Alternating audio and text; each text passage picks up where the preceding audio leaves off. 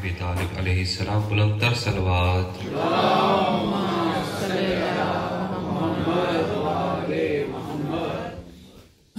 सबसे पहले तो शुक्रगुजार हूँ बारगाह आल मोहम्मद में कि ये शरफ अता हुआ कि इस मजलिस अज़ा में शिरकत हुई हमारी और दुआ करूँ कि सुकलैन भाई की तोफ़ीक़ात में इजाफा हो इनकी मजलिस में और बरकत हो इन अगले बरस इससे भी ज़्यादा लोग हो यहाँ पर शुरू करना चाहूँगा मनकबत से मौला हुसैन की शान में चंद शार उसके बाद